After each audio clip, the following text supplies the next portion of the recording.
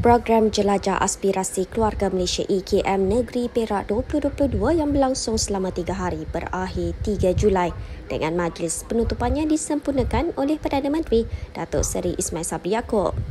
Ketibaan Perdana Menteri di Lita Dato' Sago Kampung Gajah kira-kira jam 11.30 pagi disambut Menteri Besar Perak Datuk Seri Sarani Muhammad serta Ahli Parlimen Pasir Salak Datuk Seri Tajuddin Abdul Rahman dengan diiringi paluan kompang kira-kira 30 peserta Persatuan Kompang Kampung Gajah.